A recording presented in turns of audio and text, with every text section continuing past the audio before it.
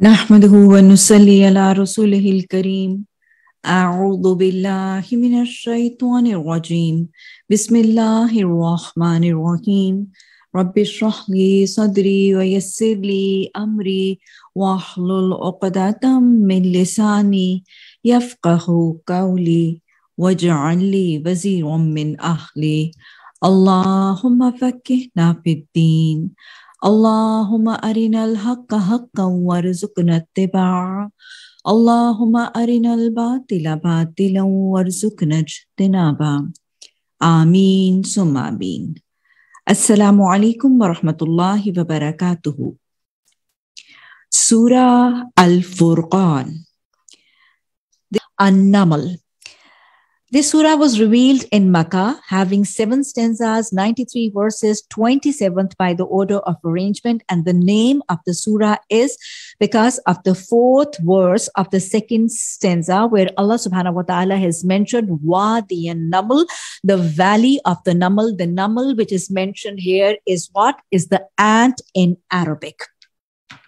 Now, the time period of the revolution is in the second period of uh, Makkah.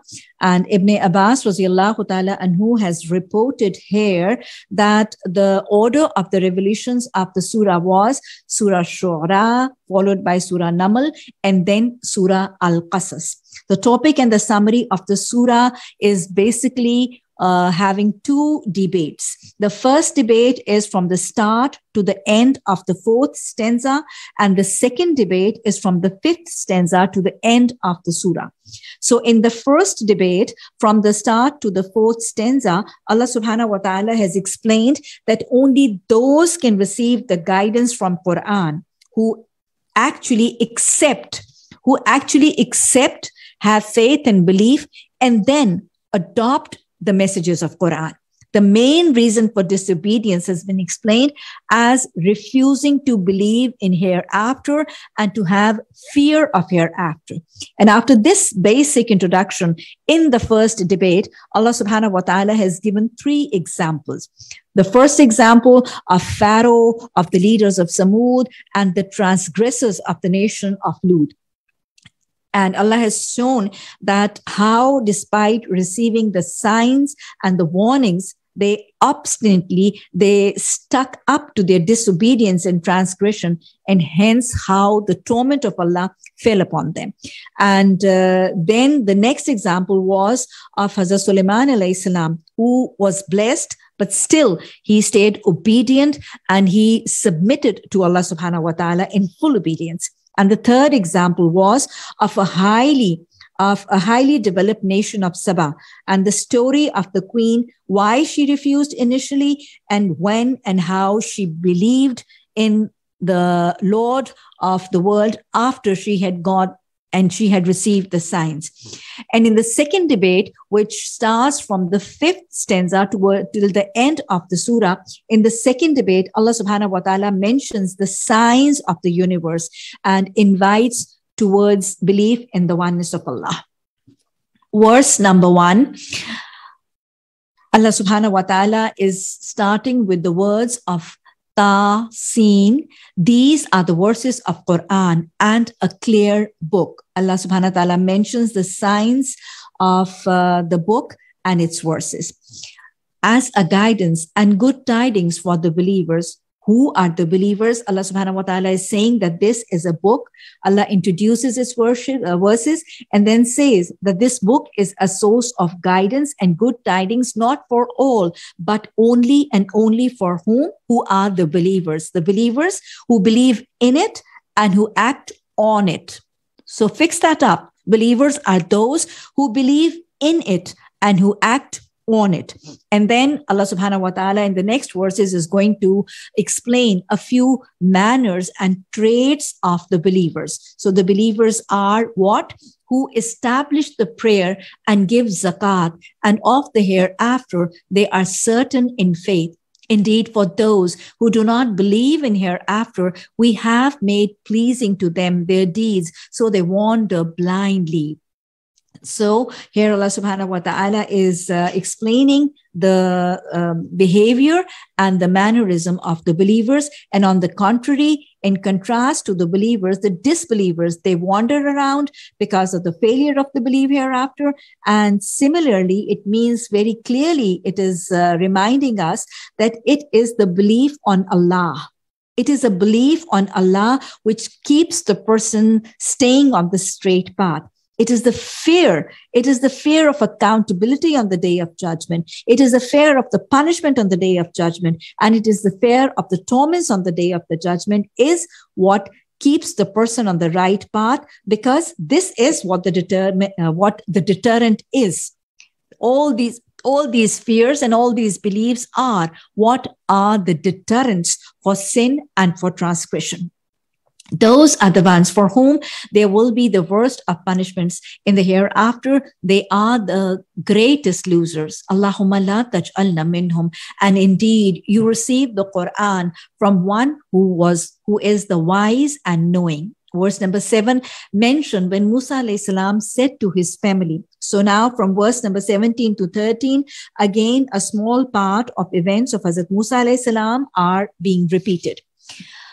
Musa salam sent to his family, Indeed, I have perceived a fire. I will bring you from there information or will bring you a burning torch that you may warm yourselves. But when he came to it, he was called, Blessed is whoever is at the fire and whoever is around it, and exalted is Allah, Lord of the worlds. O Musa, indeed it is I, Allah, the exalted in might and wise. And he was told, Throw down your staff. But when he said, but when he saw it writhing as if it were a snake, he turned in flight and did not return. Allah said, O Musa, fear not. Indeed, in my presence, the messengers do not fear. Otherwise, he who wrongs. So the only person who fears Allah is who wrongs. Then substitute good after evil. Indeed, I am forgiving and merciful. And put your hand in the opening of your garment at the breast. It will come out white, without disease. These are among the nine signs you will take to Pharaoh and his people. Indeed, they have been defiantly disobedient. But when they, when they came to them our signs, they said, this is obvious magic, and they rejected them while their inner selves were convinced thereof out of injustice and haughtiness. So see how was the end of the corruptors. And we had certainly given to Dawood salam and Sulaiman salam knowledge. And they said, Praise is due to Allah who has favored us over many of his disbelieving servants. So from now onwards, for the next few verses, is the story of Hazrat Sulaiman salam. He was the heir to his father, both in kingdom and prophethood and he was the youngest son of Hazrat uh, Dawood salam. His kingdom was the current land of Palestine, Transjordan, and a part of Syria also. And the period of Hazrat Sulaiman salam was 965 BC to 926 BC. Now, both the father and the son, as we learn from Quran, they are an excellent, they are an excellent example of gratitude. Allah had blessed them. They had, they had plenty of blessings of Allah subhanahu wa ta'ala, but for all the blessings, they were grateful and they had the remembrance of Allah. They remembered Allah humbly and had not even the slightest of arrogance in their behavior. In gratitude, in gratitude to Allah, they used to spend in the obedience of Allah and in the path of Allah to serve humanity and to serve Islam. Due to this grateful behavior, Allah subhanahu wa ta'ala further, further blessed them. And this was the rule of Allah, which is announced in Quran.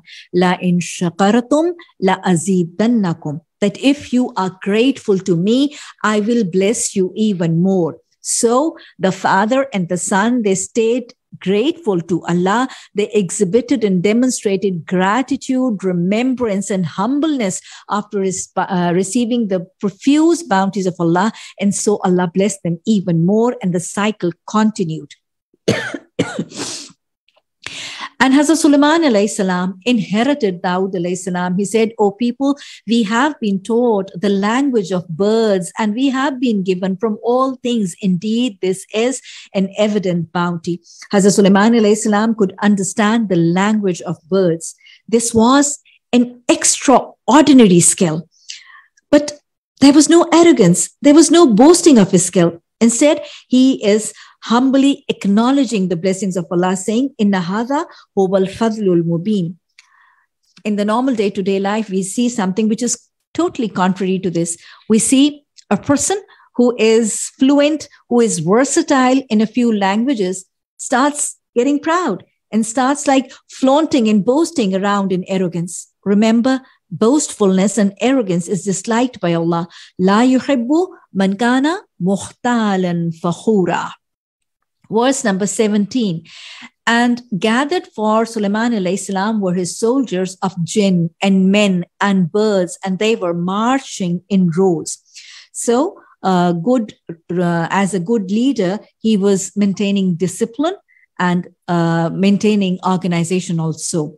Verse number 18 until when they came upon the valley of ants, Wadi and Namul, This is from where the surah gets its name. And uh, why was this valley known as Wadi and Namul? It uh, derived its name from uh, two sources we learn in different commentaries. The first reason, which is explained, is that in this valley there were many colonies of ants, and because of the ant hills, it got it got it uh, it got its name of the Valley of Ants. And the second reason, which has been explained, is that the person whose name was Namal, he settled here to start with, and so the valley came to be known by his name. And when the uh, when the army of Hazrat Sulaiman salam was coming here, what did the ants say? Uh, uh, one of the ants said, "O ants, enter your dwellings, that you might not be crushed by Sulaiman salam and his soldiers while they perceive not." So obviously, Hazrat Sulaiman salam, he understood this. So Hazrat Sulaiman salam smiled, amused at her speech, and said. ربي أوزعني أن أشكر نعمتك التي أنعمت علي وعلى والدي وأن أعمل صالحا ترضاه وأدخلني برحمتك في عبادك الصالحين beautiful supplication by Hazrat Sulaiman salam. He said, My Lord, enable me to be grateful for your favor. So when he is seeing and he's experiencing so much of knowledge and skill and wealth and power and authority and armies all subordinated to him, then he turned what? He said that that just keep me grateful to you because he wanted to stay humble to Allah. And we know that gratitude and humbleness, they go side by side. Enable me to be grateful for your favor, which you have bestowed upon me and upon my parents. So he was asking for gratitude. And that is exactly what Prophet ﷺ is also seen asking. Rabbi a'ini ala zikrika wa shukrika wa husni ibadatik. And rather than being proud in this situation, he was asking for what? For gratitude, for ability to be gratitude. Because, you know, to purify our heart from arrogance, we need to be grateful. He asked the ability of being grateful for blessings bestowed to whom? To himself and to his parents also. So, what does this teach us? It teaches us to what extent we need to be grateful to, not only for our blessings, not only for what blessings we have received from Allah subhanahu wa ta'ala, but also for blessings what our parents were blessed with. How extensive do we need to be in gratitude? And remember, being grateful for what our parents were blessed with is also very rightly so, because the blessings of our parents have a very deep influence in our lives also.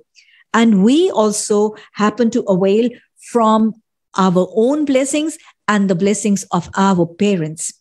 So being grateful needs to do what? An amala swalihan. He said that I, being grateful means that I need to do good and righteous deeds. Which righteous deeds? Tarozwahu, which will please you. So this is actually what gratitude to the blessings of Allah is that thanking Allah by word of mouth and being grateful to Allah in our heart and mind, and then doing deeds which please Allah subhanahu wa ta'ala. Allah, taking Allah as our benefactor to be mindful of his pleasure and and exceed even more in his obedience. So this is how he supplicated for his gratitude. Verse number 20, he took attendance of the birds and said, Why do I not see the woodpecker? Or is he among the absents? Hazrat Sulaiman salam is an army chief and he was carrying out an inspection of the army battalions. This is what? This is an efficient and a dutiful leader, continuously checking and supervising and surveillance, which is very vital while inspection, he noticed that one of the birds, the woodpecker, was not there. So what did he do? He said that why is he absent? And 21 verse he dealt very strictly with. He said, I will surely punish him and with severe punishment or slaughter him unless he brings me a clear authorization. So after a short while, when he realized that uh, the bird was not there, he he decided to deal with the absence. That is, this is lack of discipline. So he tried and he announced to deal with it strictly. Verse number 22 But the woodpecker stayed no longer and said, I have encompassed in knowledge that which you have not encompassed, and I have come to you from the nation of uh, Sabah with a certain news. Indeed, I found there a woman ruling them, and she has been given of all the things, and she has a great throne. I found her and her people prostrating to the sun instead of Allah, and Shaitan has made their deeds pleasing to them and averted them from his way, so they are not guided. So, uh, when after a short while, when the ba- bird came back, he the bird gave its excuse for the absence. And uh, it had been around gathering information regarding the people of Sabah. And he, he had told that they were what? They were the worshippers of sun. So they were what? They were a polytheistic nation.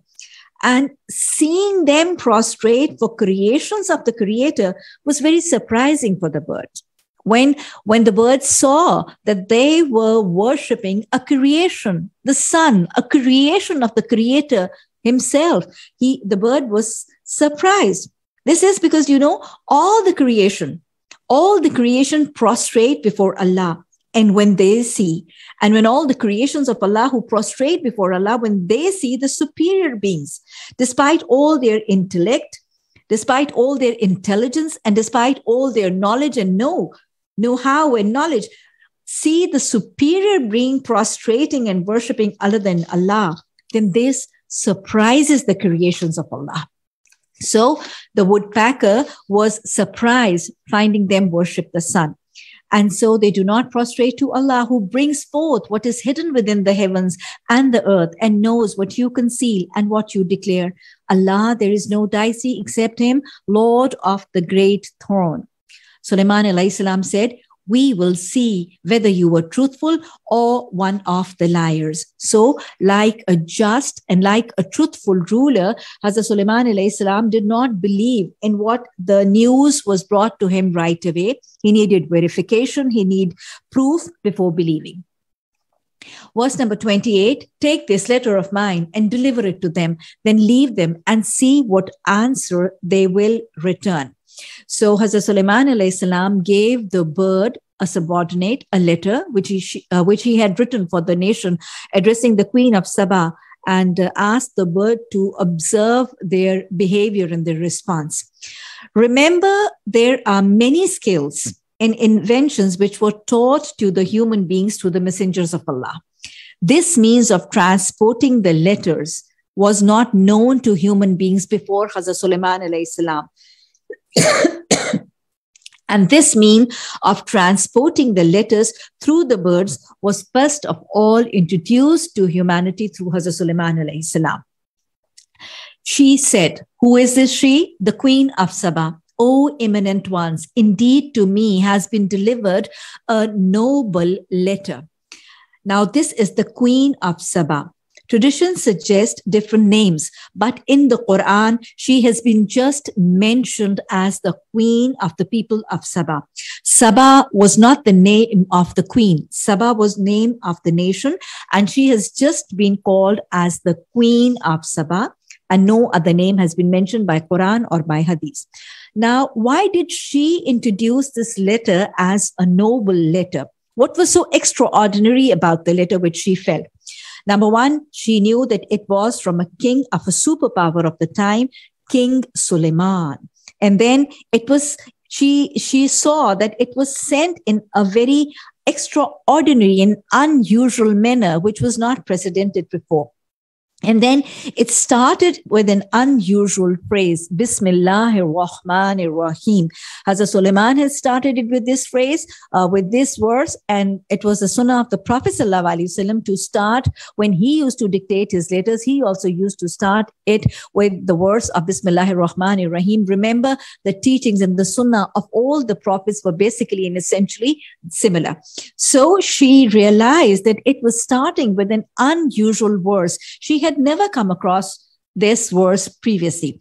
And then the subject of the letter was also very aggressive and it was also very firm and yet very impressive. And the statement was, Allah ta'ala walayya wa atuni muslimin. The order was very firm. And Hazrat Sulaiman salam had very firmly ordered submission and invited in a very impressive manner towards the religion, which was still unknown to the queen. Indeed, it is from Suleiman, and indeed it reads, In the name of Allah, the entirely merciful and the specially merciful, be not haughty with me, but come to me in submission as a Muslim. So these were the points which the Queen very sensibly picked out that it was an extraordinary letter. Verse 32, she said, O eminent ones, advise me in my affairs. I would not decide a matter until you witness for me. So she took advice from her counselors in the court. Counseling is a very, very effective trick for successful administration and man management. Verse 30, uh, 33, they said, We are men of strength and of great military might, but the command is yours. So see what you will command. Her counselors and all her subordinates, they were obedient, they were sincere, and they were compliant, and they were confident about her decisions. This all points out to what? The wisdom and the sensible administration and control by the queen over her people. Verse number 34, she said, Indeed, kings, when they enter a city, they ruin it and render the honor of its people humbled. Thus do they do. So she voiced out her normal experiences about the worldly warriors and the rulers, which obviously were very different with Hazrat Sulaiman salam. Verse number 35, but indeed, I will send to them a gift and see what reply the messengers will return. So now what the queen decided to do was she was very tactful and she tried to uh, try Hazrat Sulaiman salam by sending him a gift of golden bricks. What she wanted to analyze was his love and his lust for wealth, for gold, and for riches. Because she was wanting to decide whether she could bribe him and stop him from attacking. She could bribe Hazrat Sulaiman salam with the riches she had so that she could stop him and deter him from attacking his people. Now, I would stop here to analyze the traits and some qualities of the queen because she was obviously a very successful woman and she, it seems, was very popular in her nation. So, what traits and what behavior gave her this status? She, unlike the women, generally was cool minded and she was patient. Because, like we see that after reading the letter and receiving the threat of attack by Sulaiman salam in such an aggressive manner, she did not panic. She did not get flabbergasted. She stayed cool. She was composed. She planned and she was counseling. She was carrying out she was very clever. She was wise and she was analytical. So, and then when she gave her gift, also, she was trying to be very, uh, very wise and very analytical in planning what she wanted to do for her people. So when they came to Sulaiman alayhi salam, he said, Do you provide me with wealth? But what Allah has given me is better than what He has given to you. Rather, it is you who rejoice in your gift. So when Hazrat Sulaiman salam received the gift which the Queen of Saba had offered, he did not approve of this gift and returned it back. In fact, he disliked, he showed his dislike for being sent with this gift. And why was this? There was no love. There was no love and lust for the worldly riches, for the golds and the silver and the wealth of this world, because he was grateful for what he had. So you realize the importance of gratitude. What beautiful feelings will being grateful inculcate in our hearts. A person who is grateful will stay safe from arrogance. A person who is grateful will learn to be humble. And here we are learning that a person who is grateful will be saved from the evil love of the world and the lust of the worldly riches. So we see how vital it is being grateful to Allah a person who is grateful stays humble and is saved from indulging in the lust and the greed of the world. Wa ja'alni shakura. Rabbi a'ini ala zikrika wa shukrika wa husni ibadatik. So when they came to him, he discarded and he returned the gift. Verse number 37, he said, Return to them, for we will we will surely come to them with soldiers that will be powerless to encounter, and we will surely ex- expel them.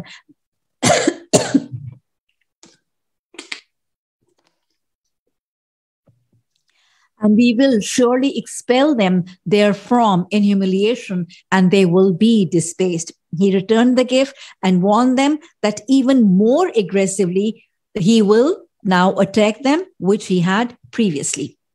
Verse number 38, Sulaiman salam said, O assembly of jinn, which of you will bring me her throne before they come to me in submission?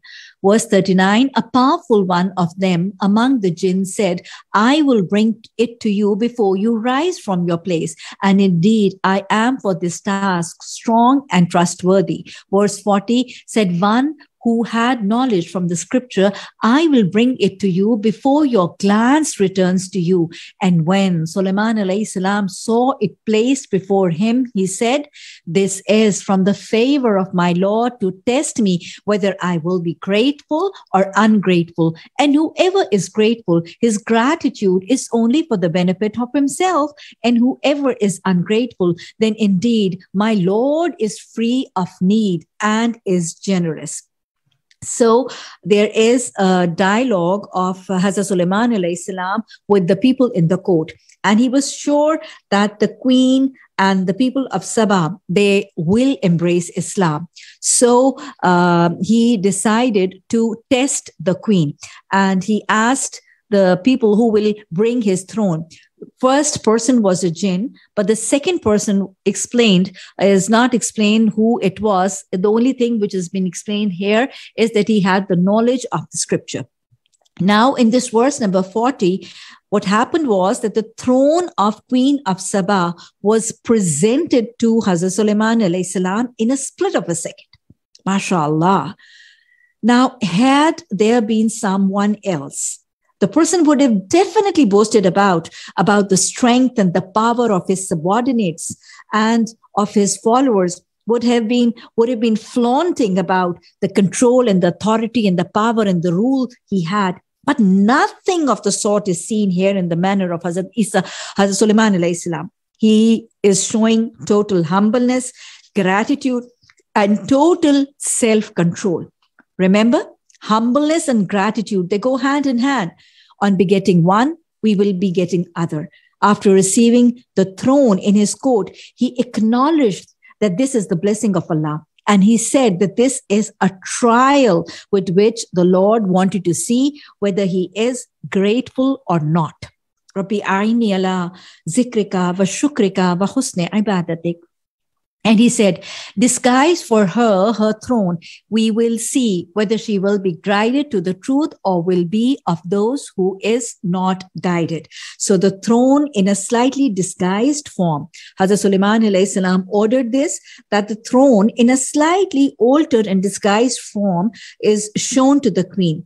And this was done for the purpose to test her, to test her intellect and to test how wise she was and how sharp and how clueful she was. And uh, how did the queen behave now? She said, when she arrived, she said, it was said to her, Is this, is your throne like this? She said, It is as though it was it. Sulaiman salam said, and we were given knowledge before her. And we were given knowledge before her, and we have been Muslims in submission to Allah. The queen was very wise and she was extremely tactful. She did not give a categorical answer telling them that it was her throne which they had stolen or they had displaced, but her answer was very balanced, trying not to avert Hazrat Sulaiman trying to stay on the right side of Hazrat Sulaiman alayhi salam. She said, Ka annahu hova. It looks like mine. It looks as if it's like mine. She, she commented like between lines. And above all, the queen was wise and sensible enough. She observed, she observed the power, the authority, and control of Hazrat Sulaiman alayhi salam. And she was not foolishly obstinate and stubborn. Observing all the power and authority of Hazrat Sulaiman alayhi salam, and then not being obstinate and stubborn, she realized that if such a king, if such a king of such a power and authority and rule had accepted the supremacy and oneness of Allah, then this had to be the truth. And she had not known in all this in her previous life. And she was also not egoistic. So all her positive traits, they helped her towards guidance and she accepted Islam saying, Wakunna Muslimin. She, she submitted to Allah and she submitted to Hazrat Sulaiman alayhi salam.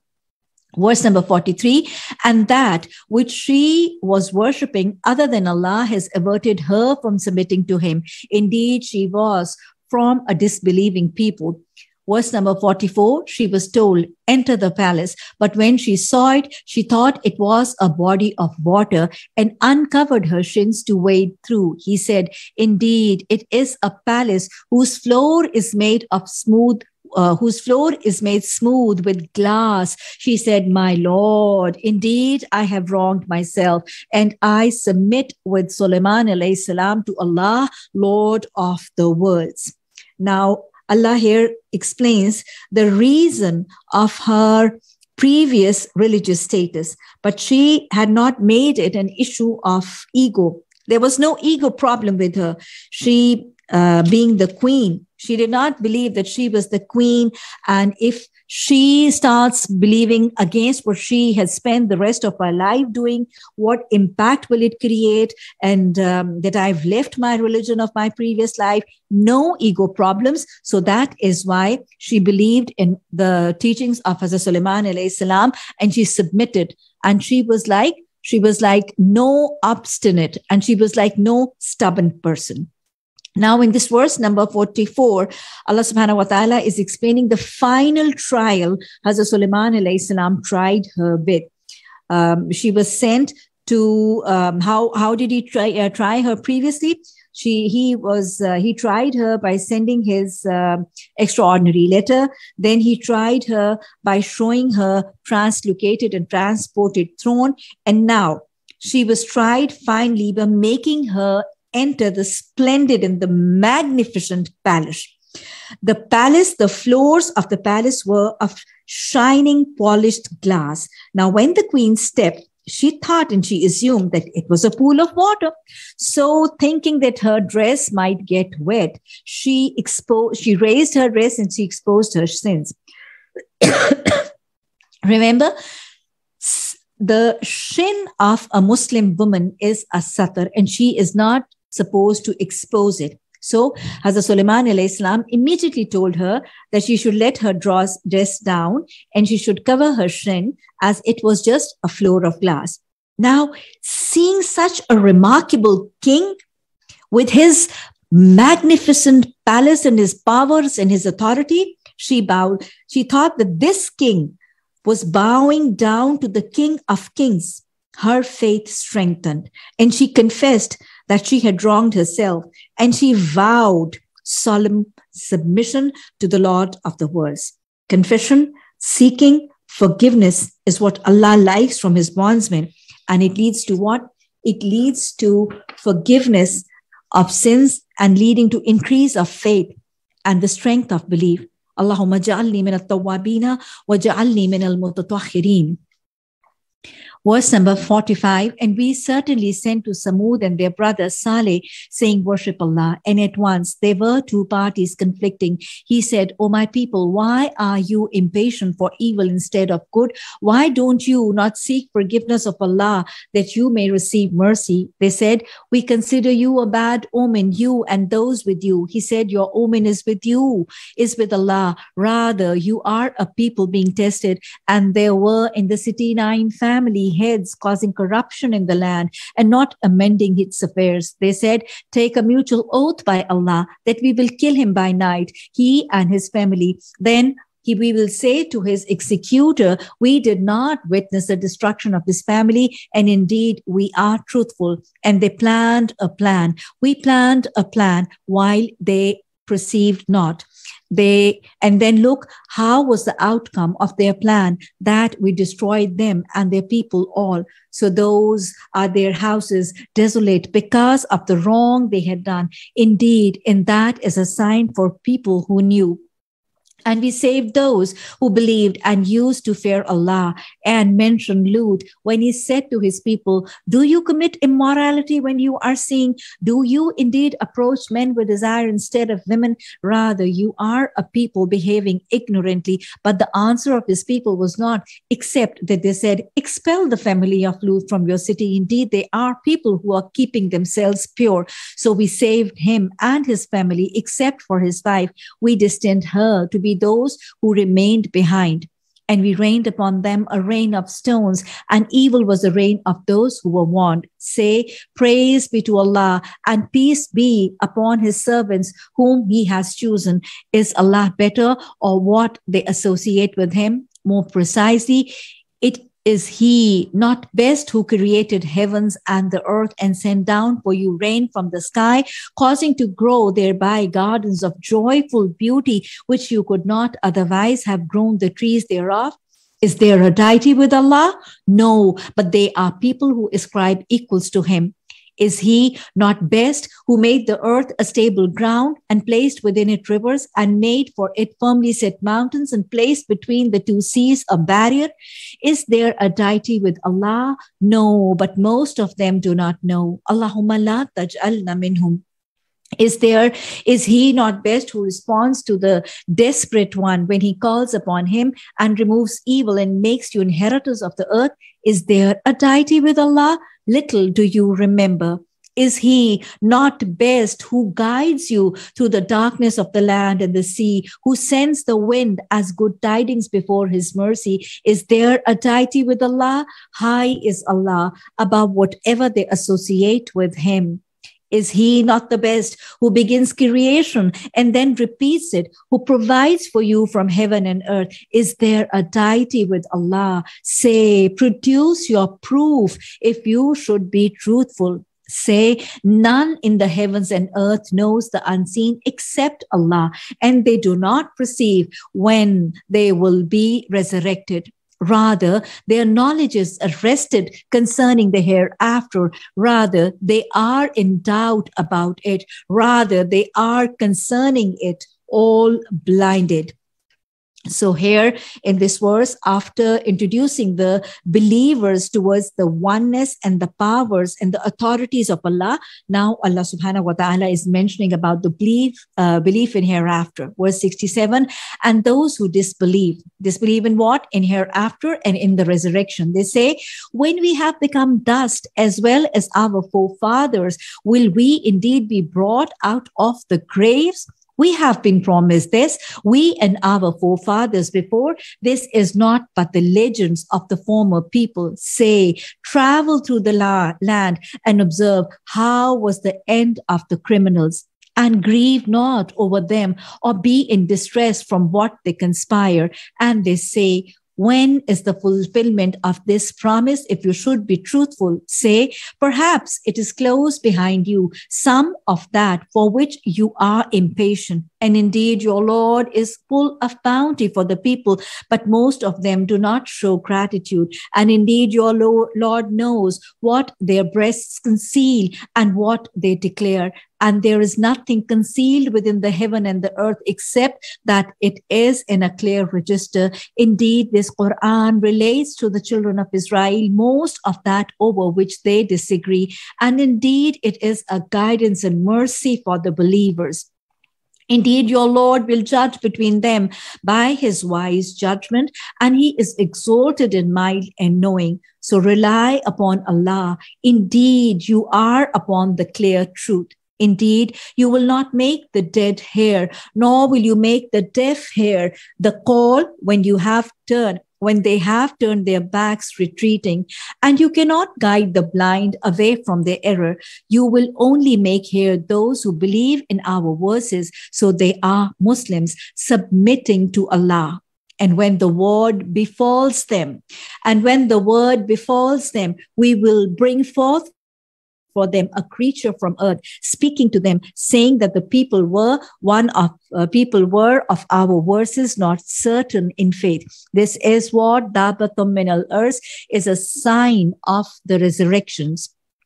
And uh, when all the people uh, when there will be the death of Hazrat Isa then after that, all the believers will also pass away, and the and the whole of the earth will be filled by the disbelievers the disobedience and the dis and the transgressors who will just fail to remember Allah, who will just fail to mention Allah, who will just be transgressing on the earth. So then, when all remembrance and orders of Allah will be forgotten by the order of Allah, this animal will be sent, the earth will split, the animal will come out, and Allah subhanahu wa ta'ala will bless the ability to talk this animal will be blessed the ability to talk, and the animal will address the transgressors and the disbelievers, reminding them of the orders of Allah and the attributes of Allah.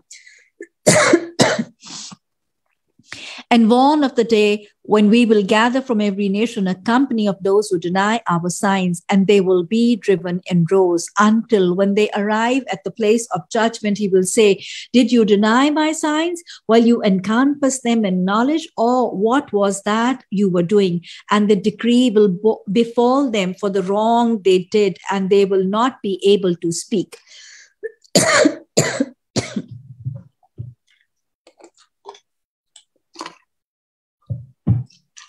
Do they not see that we made the night that they may rest therein and the day giving sight? Indeed, in that are signs for people who believe. And born of the day of horn will be blown, and whoever is in the heaven and whoever is on the earth will be terrified, except whom Allah wills, and all will come to him humbled. And you see the mountains, thinking them rigid, while they will pass as the passing of clouds. It is the work of Allah who perfected all things. Indeed, he is acquainted with which uh, with uh, with that which you do.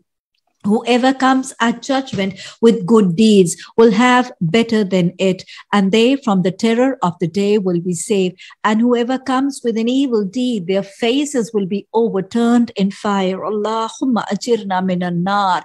And it will be said, are you recompensed except for what you used to do? Say, I have only been commanded to worship the Lord of the city, who made it sacred, to whom belongs all the things. And I am commanded to be of Muslims and those who submit to Allah and to recite the Quran. And whoever is guided is only guided for the benefit of himself. And whoever is strays, say, I am only one of the warners. And say, Allah's praise, Allah, all praise is due to Allah. Alhamdulillah. He will show you his signs and you will recognize them, and your Lord is not unaware of what you do. So the summing up note is warning as well as invitation. Worship one Allah, be the pioneers to join Islam, to recite the book of Allah. This will benefit the bondsmen themselves only. اللهم حاسبنا حسابا يسيرا. ربنا لا تزغ قلوبنا بعد إذ هديتنا وهب لنا من لدنك الرحمة إنك أنت الوهاب. سبحانك اللهم وبحمدك. نشهد أن لا إله إلا أنت. نستغفرك ونتوب إليك. سبحان ربك رب العزة عما يصفون. وسلام على المرسلين. والحمد لله رب العالمين. آمين. ثم آمين.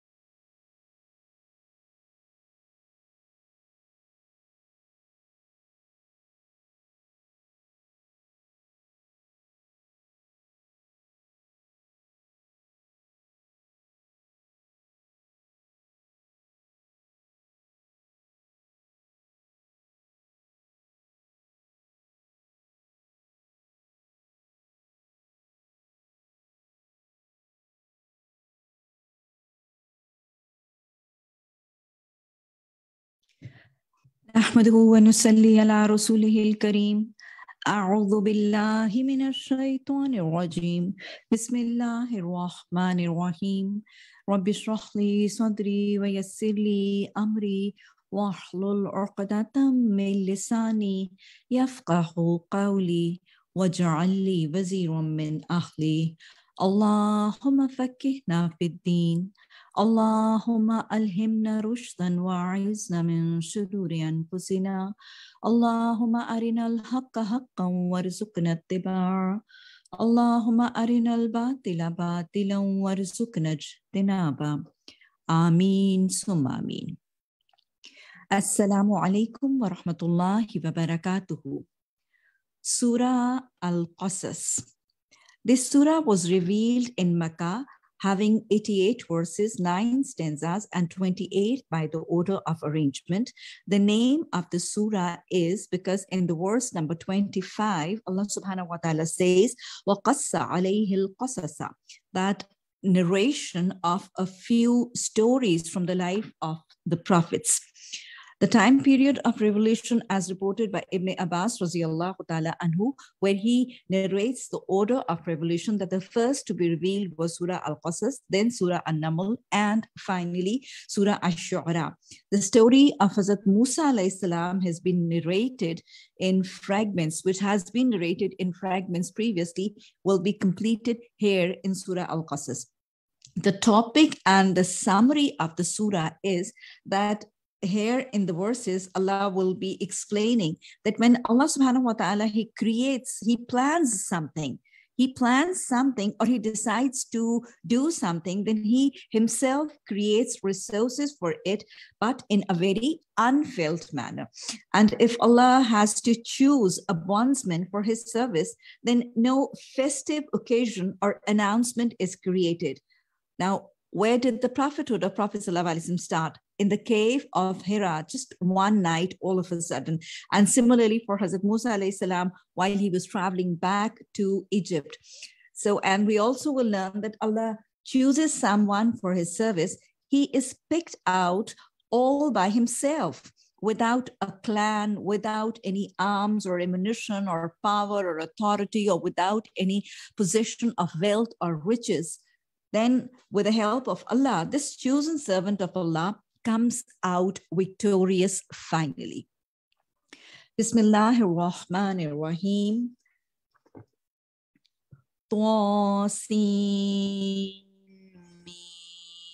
تلك آيات الكتاب المبين نتلو عليك من نبإ موسى وفرعون بالحق لقوم يؤمنون Ta, Sin, Mim. These are the verses of the clear book. Allah subhanahu wa ta'ala has repeatedly called the Quran as Kitab al Mubin, the book which is clear cut. Allah subhanahu wa ta'ala help us all understand this clear cut book, this best book with total clarity of vision and mind, and help us obey the commandments which we go through, which we learn in this clear book with total clarity and with total steadfastness. We recite to you from the news of Musa salam and Pharaoh in truth for people who believe. Indeed, Pharaoh exalted himself in the land and made its people into factions, oppressing a section among them, slaughtering their newborn sons and keeping their females alive. Indeed, he was of the corruptors, and we and we wanted to confer favor upon those who were oppressed in the land and make them leaders and make them inheritors. So when did he when did Pharaoh Start doing all this? He was when he uh, when before the birth of Hazrat Musa salam, the Pharaoh had a dream that a person from the slave Bani Israel, the nation of the slaves of Bani Israel, will dethrone him. Verse number 6 to 30, now part of the story of Umm Musa has been narrated, and establish them in the land and show Pharaoh and his minister Haman and their soldiers through them that which they had feared and we inspired to the mother of Musa, suckle him. But when you fear for him, cast him in the river, and do not fear and do not grieve. Indeed, we will return to him, return him to you, and will make him one of the messengers. So uh, Allah subhanahu wa ta'ala is now narrating the part of the story where uh, Hazrat Musa salam was born, and because of the order, Umm Musa was fearing that the brutal soldiers will snatch him from her and will kill him in front of her. So there is where she was inspired by this order and this suggestion from Allah subhanahu wa ta'ala.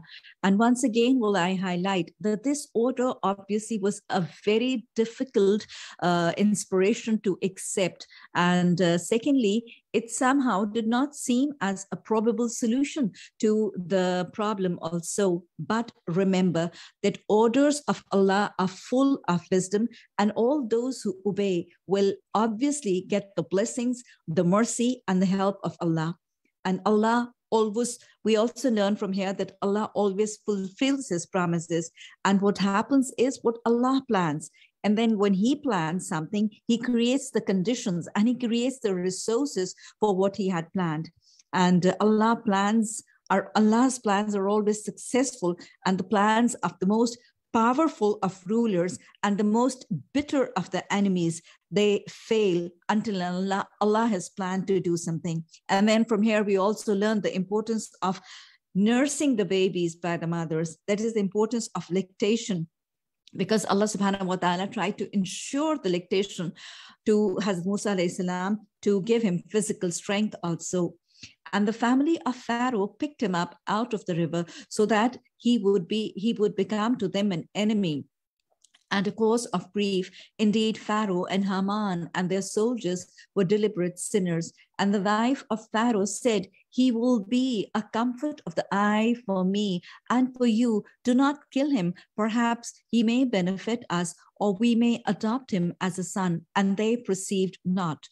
And the heart of Musa salam's mother became empty of all else. She was about to dis- disclose the matter concerning him had we not bound fast her heart that she would be of the believers. And she said to his sister, Follow him. So she watched him from a distance while they perceived not. And we had prevented from him all wet nurses before. So she said, Shall I, who said the sister, shall I direct you to a household that will be responsible for him for a uh, for um, for you while they are to him for his upbringing sincere. So we restored him to his mother that she might be content and not grieve, and that she would know that the promise of Allah is true. But most of the people do not know. And when he attained his full strength and was mentally mature, we bestowed upon him judgment and knowledge, and thus we do reward the doers of good. Now, from verse number 15 to 21 is the narration when Hazrat Musa salam had, had committed an unintentional, unintentional murder. Verse number 15, he entered the city at a time of in, inattention by its people. The time of inattention by its people was what? When the people were sleeping, and that is the time of the morning prayers, the, uh, the prayer of Fajr and found therein two men fighting, one from his faction and one from among his enemy, and one from his faction called for help to him against the one from his enemy. So Musa salam struck him and unintentionally killed him. Musa salam said, This is from the work of Shaitan. Indeed, he is manifest, misleading enemy. So the two men who were fighting were whom uh, one of them was a poor slave from the people of Bani Israel. And he used to go and he used to collect wood from the forest. And this he used for lighting his stove. And he used to light it to it used to burn it to light his stove and he used to also used to sell it and this was a source of earning for him. And the second was the person who was the cook in the kitchen of pharaoh. And he was doing what? That he was forcibly trying to take away the slaves wood. So he asked for hazrat musa salam's help. And to help the oppressors is the sunnah of uh, the prophets. And similarly uh, was Hazrat Musa Islam did that he was just trying to be helpful to the oppressor and he hit the uh, he hit the person and uh, to help the person of Bani Israel and without intention to kill him but he killed him accidentally and totally unintentionally and when he killed him unintentionally, what did Hazrat Musa salam say? He said that this is what? This is from the work of shaitan. And he had misled him to do so. And what he did was, he said, My Lord, indeed I have wronged myself, so forgive me. And he forgave him. Indeed, he is the forgiving and merciful. So once he had committed an accidental and an unintentional murder, Hazrat Musa salam did what? he confessed, he regretted, and he repented, and he seek forgiveness from Allah subhanahu wa ta'ala. And Allah likes all those who sin and then seek forgiveness. As Prophet sallallahu alaihi wasallam said, kullu bani adama khatan khairul khatain at-tawwabun that all the people of all the sons and children of Hazrat Adam alayhi salam are but to err and they will all sin. But the best of those who err and sin are those who repent and seek forgiveness. Allahumma ja'alni min at-tawwabin wa ja'alni min al-mutatahhirin he said, My Lord, for the favor you bestowed upon me, I will never be an assistant to the criminals.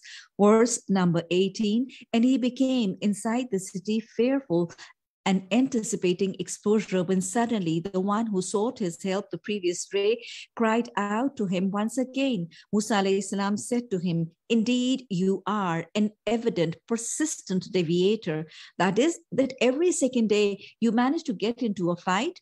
And when he wanted to strike the one who was an enemy to both of them, he said, O Musa alayhi salam, do you intend to kill me as you killed someone yesterday? You only want to be a tyrant in the land and do not want to be one of the amenders verse 20 and a man came from the farthest end of the city running. He said o musa salam indeed the eminent ones are conferring upon over you intending to kill you. So leave the city. Indeed i am to you of the sincere advisers so the next morning he faced the same situation all over again.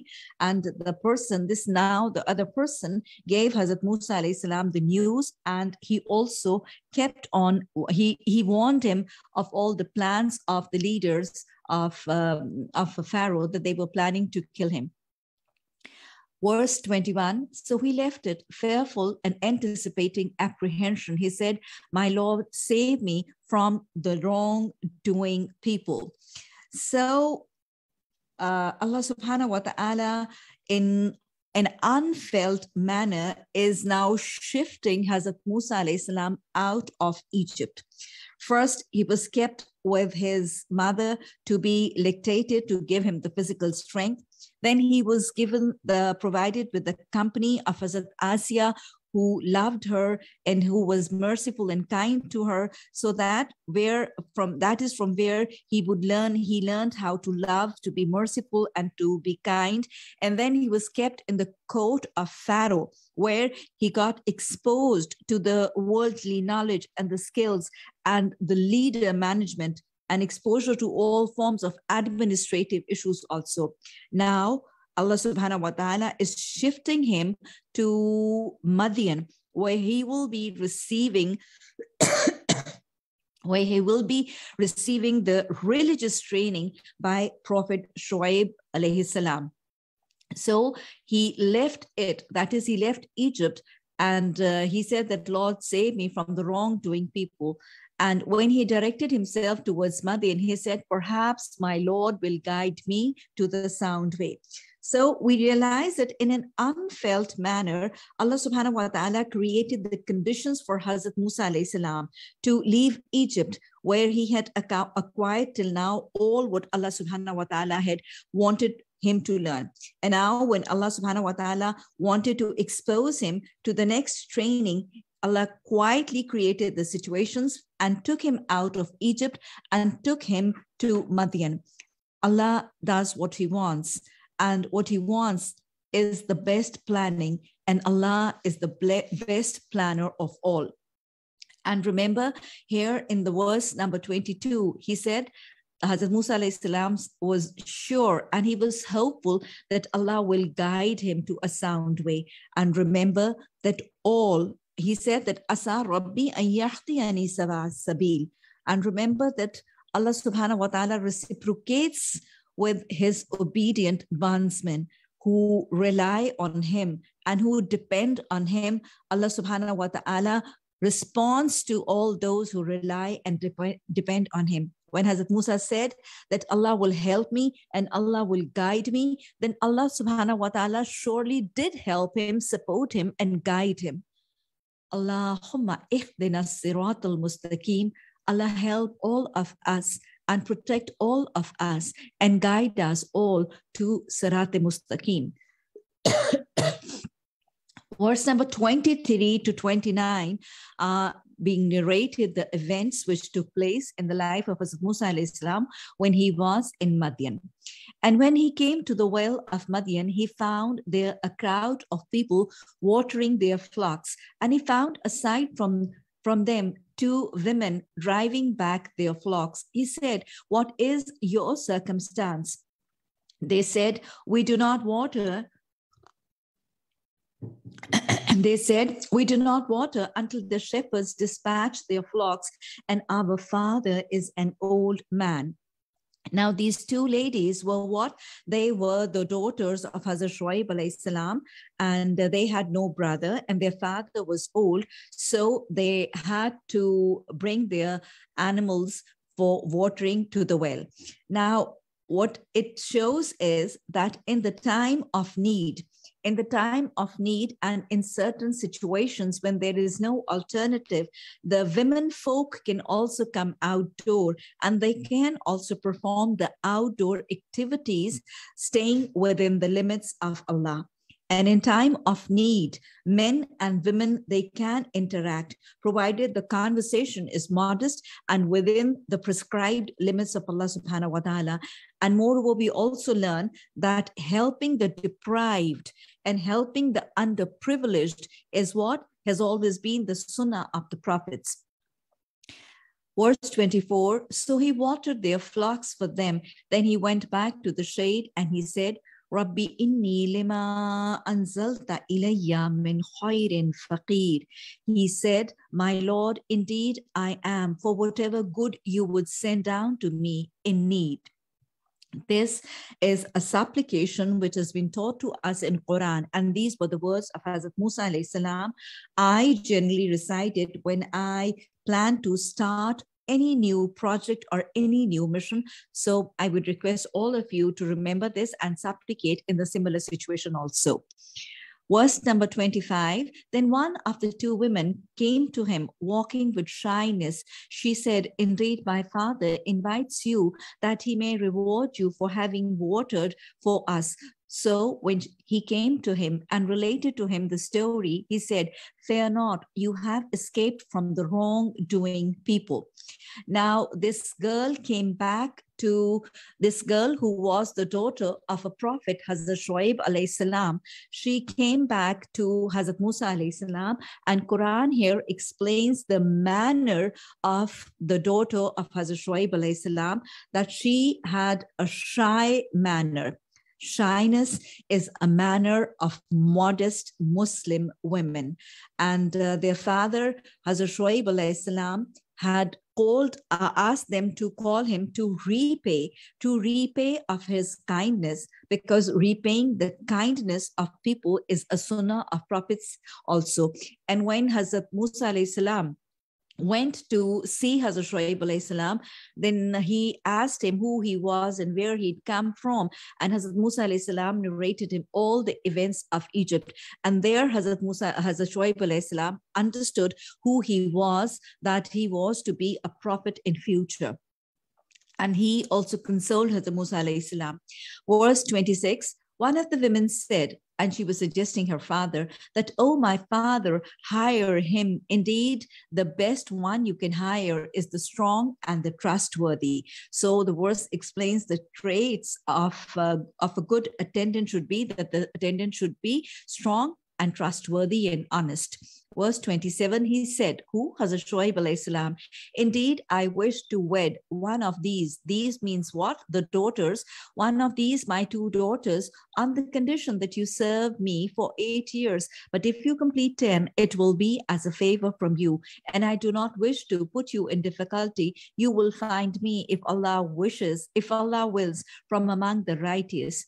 Musa salam said, That is established between me and you. Whichever of the two terms I complete, there is no injustice to me, and Allah over what we say is a witness. So in this verse 27 and 28, there was an agreement made between Hazrat Musa salam and Hazrat Shuaib salam, and then Hazrat Musa salam fulfilled his promise also. Verse 29, and when Musa salam had completed the term and was traveling with his family, he perceived from the direction of the mount a fire. He said to his family, Stay here. Indeed, I have perceived a fire. Perhaps I will bring you from there some information or burning wood from the fire that you may warm yourselves. But, we, but when he came to it, he was called from the right side of the valley in a blessed spot from the tree. O Musa, indeed I am Allah, Lord of the worlds. And he was told, Throw down your staff. But when he saw it writhing as if it was a snake, he turned in flight and did not return. Allah said, O Musa, approach and fear not. Indeed, you are of the secure. Insert your hand into the opening of your garment. It will come out white without disease. And draw in your arm close to you as prevention from fear for those for those are two proofs from your lords to Pharaoh and establishment. Indeed, they have been a people defiantly disobedient. He said, My Lord, indeed, I killed from them someone, and I fear that they will kill me. And my brother Harun is more fluent than me in tongue. So send him with me as a support, verifying me. Indeed, I fear that they will deny me. Verse 35, Allah said, We will strengthen your arm through your brother and grant you both supremacy, so they will not reach you. It will be through our signs, you and those who follow you will be the predominant. So in the verse number 29 to 23, Allah subhanahu wa ta'ala has uh, narrated the events that when uh, Hazrat Musa salam was chosen by the prophethood, and then he was blessed with two miracles, and he was launched to invite Pharaoh and his people towards the truth. And in uh, this verse, Allah subhanahu wa ta'ala is explaining how he will keep on supporting and helping Hazrat Musa alayhi salam and his followers, and finally they will be victorious. But when Musa salam came to them with our signs as clear-cut evidences, they said, this is not except invented magic, and we have not heard of this religion among our forefathers. And Musa salam said, my Lord is more knowing than we or you of who has come with guidance from him and to whom will be succession in the home. Indeed, wrongdoers do not succeed. And Pharaoh said, O eminent ones, I have not known to have a God other than me. Then Ignite for me, O Haman, a fire upon the clay, and make for me a tower that I may look at the God of Musa salam. And indeed, I do think he is among the liars. And he was arrogant, he and his soldiers in the land without right. And they thought that they would not be returned to us. So we took him and his soldiers and threw them into the sea. So see how was the end of the wrongdoers. And we made them leaders, inviting to fire. And on the day of resurrection, they will not be helped. And we caused to overtake them in this world a curse, and on the day of resurrection, they will be of the despised. And we gave Musa salam the scripture after we had destroyed the former generations as enlightenment for the people and guidance and mercy that they might be reminded. And O Muhammad sallallahu wasallam, were you were not on the western side of the mount when we revealed to Musa salam the command, and you were not among the witnesses to that. But we produced many generations after Musa salam, and prolonged was their duration. And you were not a resident among the people of Madian, reciting to them our verses, but we were senders of this message. And you were not at the side of the mount when we called to Musa salam, but was sent as a mercy from your Lord to warn a people to whom no warner had come before you, that they might be reminded if not that a disaster should strike them for what their hands put forth of sins. And they would say, Our Lord, why did you not send us a messenger so we could have followed your verses and been among the believers? But when the truth came to them from us, they said, why was he not given like that which was given to Musa alayhi salam? Did they not believe? In they did not disbelieve in that which was given to Musa salam before. They said they are but two works of magic supporting each other and indeed we are in both disbelievers. Say then bring a scripture from Allah which is more guiding than either of them that I may follow it if you should be truthful but if they do not respond to you, then know that they only follow their own desires. And who is more astray than one who follows his desires without guidance from Allah? Indeed, Allah does not guide the wrongdoing people. Allahumma ihdina sirat al mustaqim. Allah subhanahu wa ta'ala help us and guide us all to stop following our desires without the guidance from Allah. And we have repeatedly conveyed to them the Quran that they might be reminded. Those to whom we gave the scriptures before it, they are believers in it. And when it is recited to them, they say, We have believed in it. Indeed, it is the truth from our Lord. Indeed, we were even before it Muslims submitting to Allah. Those will be given their rewards twice for what they patiently endured and because they avert evil through good and from what we have provided them they spend. And when they hear ill speech they turn away from it and say for us are our deeds, and for you are your deeds. Peace will be upon you, and we seek not the ignorant. Indeed, you do not guide whom you like, but Allah guides whom He wills, and He is the most knowing of the rightly guided people. And they say, if we were to follow the guidance with you, we would be swept from our land. Have we not established for them a safe sanctuary to which we we are brought the fruits which we are brought the fruits of all things as provisions for us, but most of them do not know. And how many a city have we destroyed that has insolent in its way of living, and those are their dwellings which have not been inhabited after them except briefly, and it is we who were the inheritors. And never would your Lord have destroyed the cities until he has sent to their mother a messenger reciting to them our verses, and we would not destroy the cities except while their people were wrong wrongdoers. And whatever thing and whatever thing your people have been given, it is only for the enjoyment of worldly life and its adornment. And what is with Allah is better and more lasting. So, will you not reason?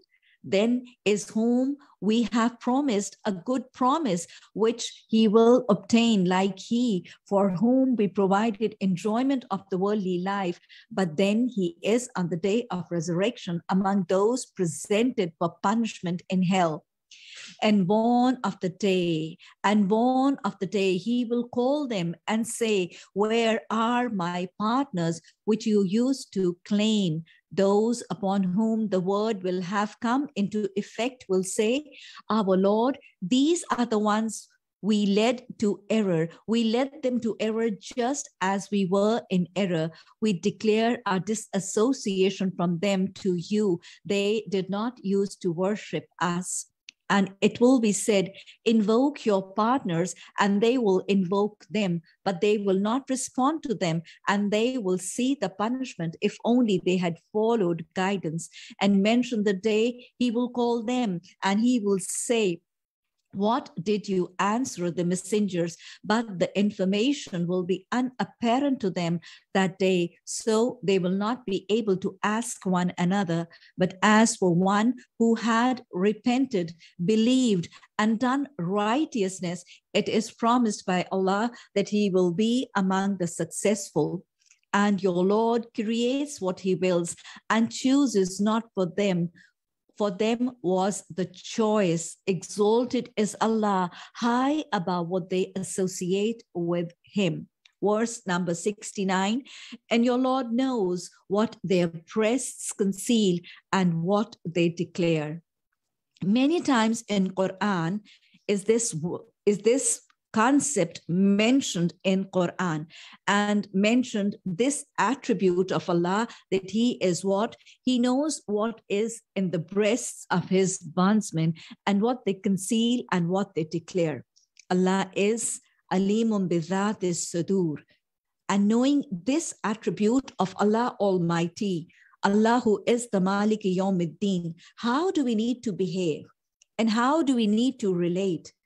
We need to remember that as an obedient Muslim, we just do not need to change our outwardly appearance to let the people know how good a Muslim we are, but we need to reform our inner selves also. Just having a beard or wearing a veil, but but remembering that in the heart we have all forms of awful, wretched feelings like arrogance and envy and jealousy and love of the wealth and the lust of money, or feelings of enmity and harsh feelings against the relatives of kin. What we need to do is a momin has to be what? A momin has to be inside out, has to be an obedient bondsman of Allah not only just our outwardly appearance do we need to create like a Muslim bondsman, but we need to reform our inner souls also. Verse 70 And He is Allah, there is no deity except Him. To Him is due all praises in the first life and hereafter. He is the final decision, and to Him you will be returned. Subhanallah walhamdulillah wa la ilaha illallah wallahu akbar. Subhanallah wa bihamdihi subhanallah al-azim. Allahumma aini ala ghamaratil maut wa sakaratil maut. Say, have you considered if Allah should make for you the night continuous until the day of resurrection? What deity other than Allah could bring you light? Then will you not hear? Say, Have you considered if Allah should make for you the day continuous until the day of resurrection? What deity other than Allah could bring you a night in which you may rest? Then will you not see? And out of his mercy, he made for you the night and the day that you may rest therein. And by and by day seek from his bounty, and that perhaps you will be grateful. Rabbi aini ala zikrika wa shukrika wa husni ibadatik. And one of the day he will call them and say, Where are my partners which you used to claim? And we will extract from every nation a witness and say, Produce your proof, and they will know that the truth belongs to Allah, and lost from them is that which they used to invent. Verse number 76. From here onwards, Allah subhanahu wa ta'ala is narrating the story of Qarun. Indeed, Qarun was from the people of Musa salam, but he tyrannized them and we gave him octroyers whose keys would burden a band of strong men. Thereupon his people said to him, Do not exult. Indeed, Allah does not like those who are exultant the story of Karun. He was from the people of Bani Israel. And we also learn from traditions that he was a paternal cousin of Hazrat Musa alayhi salam. But he had failed to believe and have faith in Hazrat Musa alayhi salam and Allah subhanahu wa ta'ala. And this was because of his love of the worldly riches and he had joined Pharaoh and was among his courtiers and among the counselors to Pharaoh. And um, this was all because of enmity, his enmity to Hazrat Musa alayhi salam. And then his people told him what? La tafrah, inna Allah la yuhibbul farihin. That do not exult. Allah subhanahu wa ta'ala does not like all those who are what? Who are exultant but seek through that which Allah has given you the home of hereafter.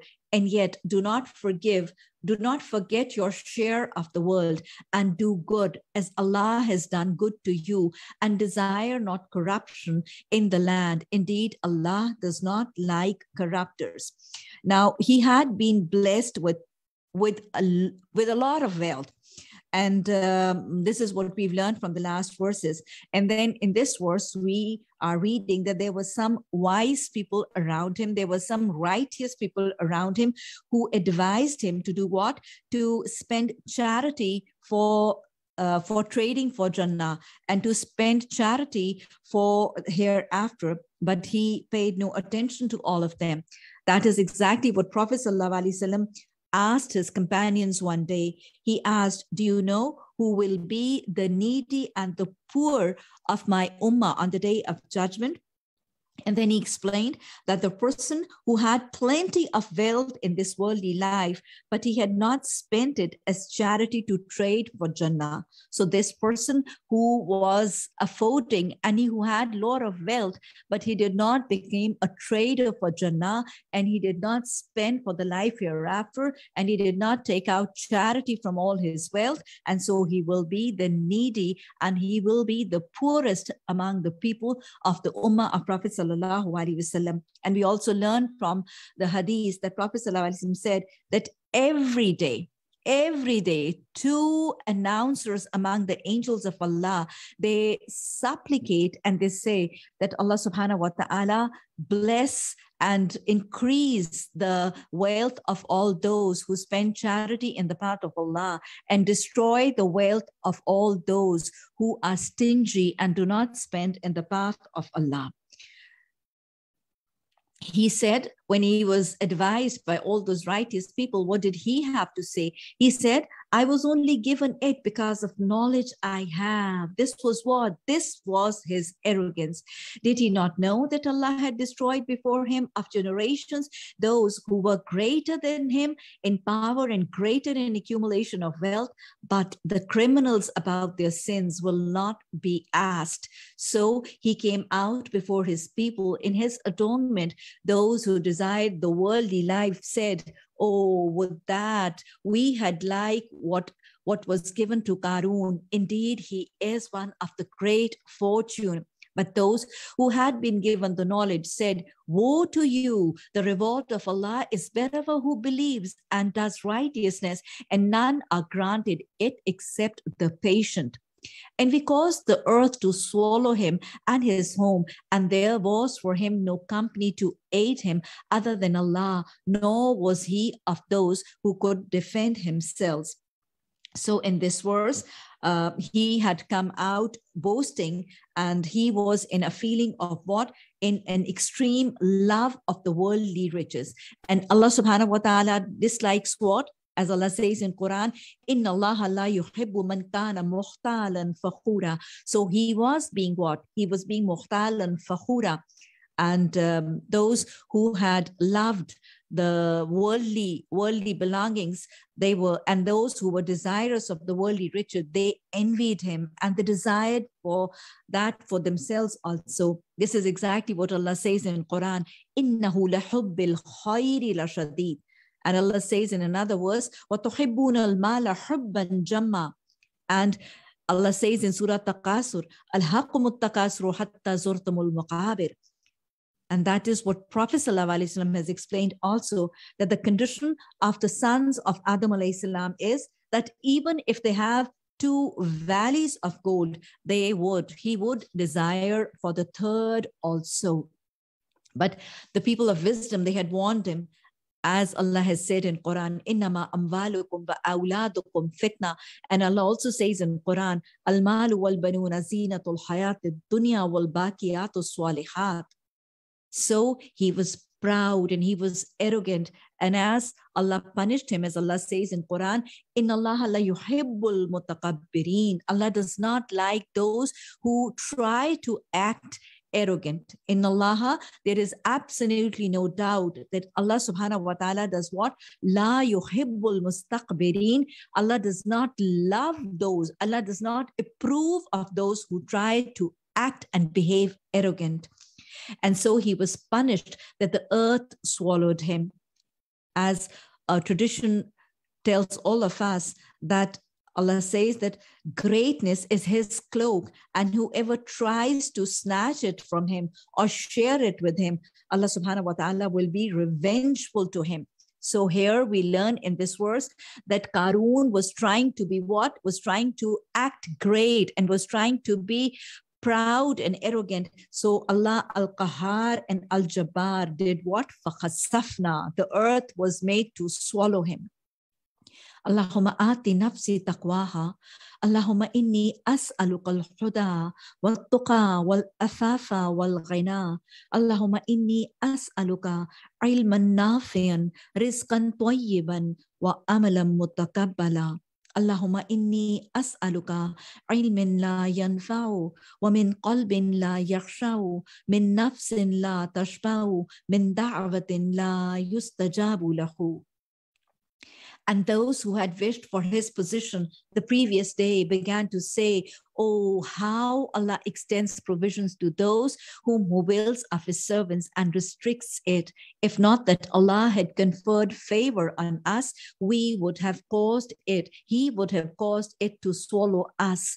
Oh, how the disbelievers do not succeed that the home of hereafter be assigned to those who do not desire exaltedness upon the earth or corruption, and the best outcome is for the righteous. Whoever comes on the day of judgment with a good deed will have better than it, and whoever comes with an evil deed, then those who did evil deeds will not be recompensed except as much of what they used to do verse 85 indeed he who imposed upon you the quran will take you back to a place of return say my lord is most knowing of who brings guidance and who is in clear error now, Prophet Sallallahu Alaihi Wasallam, here Allah subhanahu wa ta'ala, now let me read the next uh, verse and then I'll explain.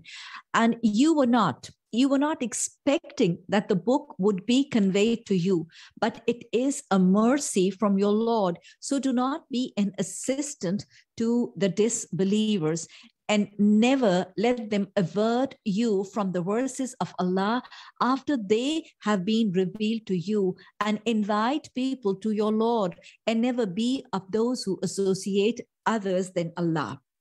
So this verse is explaining this verse number 80 the verse number 86 Allah subhanahu wa ta'ala is mentioning that Prophet sallallahu alaihi wasallam was not expecting that the book would be revealed to him.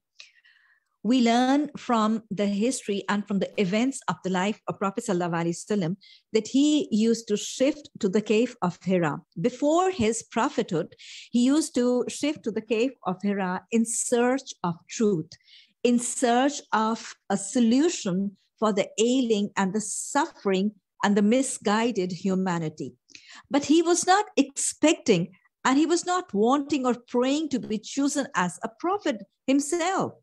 It came to him as a surprise. Before prophethood, he had, he hadn't in the vilest of dreams imagined that he would be chosen as a seal of prophet. The arrival of Hazrat Jibrail in the cave of Hira he was he was totally taken unaware. He was in a state of shock. As we know that he came shivering with fear and shock asking hazrat khadija anha to cover him with a blanket. And he had also added that i'm scared for my life and she had consoled him and she had taken him to her cousin. Warqa bin Nawfal, who had confirmed that he was, he had been chosen as the prophethood. So he was not expecting, he was not asking, and he was not praying and supplicating to be chosen as the prophet, and he was totally taken by surprise. Verse 88 And do not invoke with Allah another deity. There is no deity except Him.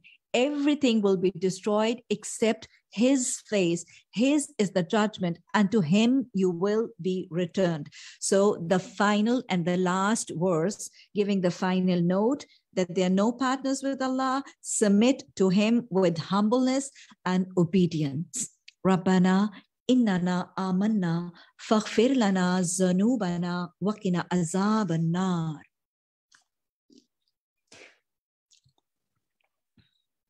Surah Al Ankabut. This surah was revealed in Makkah. It has 69 verses, seven stanzas, and is the 29th by the order of arrangement.